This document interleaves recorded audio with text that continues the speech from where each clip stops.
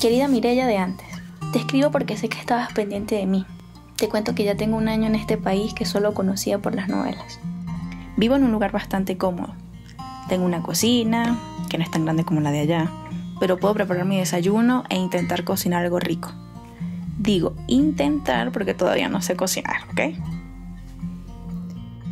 Hice como una biblioteca parecida a la de allá tengo un baño, pero bueno, este queda afuera.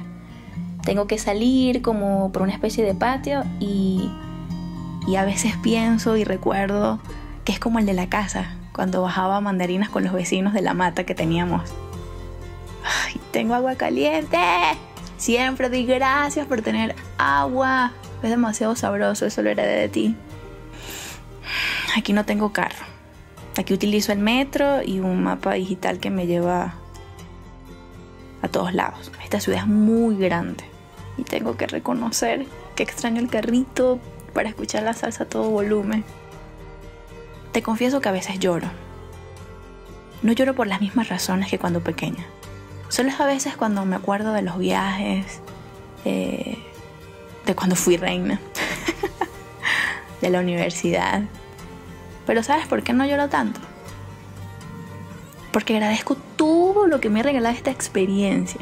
Ahora soy más responsable, valoro los momentos de soledad. Me di cuenta que amo profundamente a mi familia. Agradezco cada momento acá porque, bueno, me ha hecho una mujer más madura. Me he ido transformando en un ser mucho más sensible a los cambios, con buena actitud ante las dificultades, escuchando la sabiduría de los demás que siempre tienen una palabra de apoyo cuando lo necesito. Gracias por darme la oportunidad de, bueno, de un día tomar la decisión de agarrar un avión.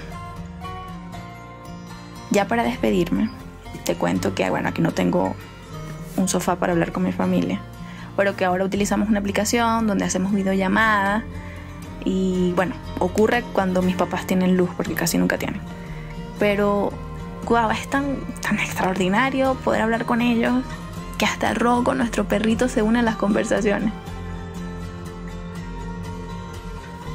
Cada recuerdo me hace poner los pies en la tierra, Mirella, y entender que la vida es un camino que hay que transitar para dejar huellas.